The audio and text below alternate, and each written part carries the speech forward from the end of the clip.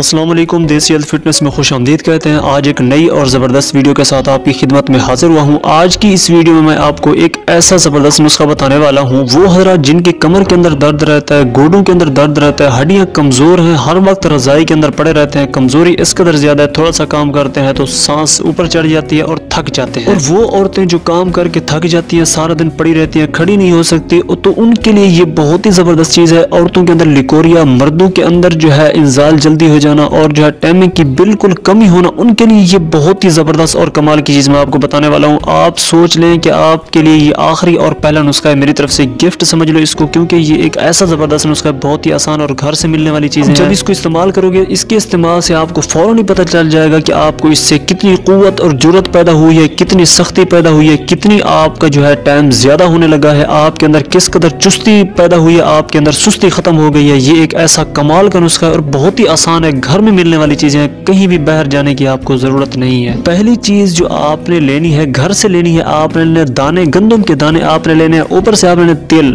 तिल आपने लेकर इन दोनों को भून लेना है। जब भून जाए तो आपने इनको पीस लेना है। अच्छी तरह खाका बना लेना है, यानी कि आटे की तरह बिल्कुल बारीक पीस लेना है। बारीक पीस कर आपने इन दोनों के अंदर शक्कर मिला लेनी है, यानी कि गुड़ मिला लेना है या शक्कर मिला लेनी है, इसके अंदर चीनी नहीं मिलानी। इन दोनों को मिलाकर मिक्स करके आप किसी भी डब्बे के अंदर महफूज करके रख इसको जितना बनाना चाहे बना सकते हैं, एक पाव भी बना सकते हैं, दोनों को आधा आधा पाव मिलाकर आप एक पाव बना सकते हैं। दोनों का एक एक पाव लेकर आधा किलो भी बना सकते हैं। जितना आप खाना चाहें जितना आप बनाना चाहें बना सकते हैं। ये स्टोर करके रख लें कभी भी खराब नहीं होगा। बहुत ही ज़बरदस्त में भी इस्तेमाल कर सकते हैं सर्दियों में भी इस्तेमाल कर सकते हैं। बहुत ही ज़बरदस्त और कमाल की चीज़ है। इनशाला आपको इसे बहुत ही ज़्यादा फ़ायदा होगा। ये बनाकर आपने रख लेना और दिन में किसी भी वक्त आप तीन से चार चम्मच खाकर ऊपर से अगर आपके पास दूध हो तो दूध पी लें, अगर दूध ना हो तो पानी पी लें। इनशाला आप कमाल देखेंगे और मुझे दुआएँ देंगे। दोस्तों, उम्मीद करता हूँ आपको आज की वीडियो पसंद आई होगी। इजाज़त दीजिए अगली वीडियो के लिए, तब तक के लिए असलम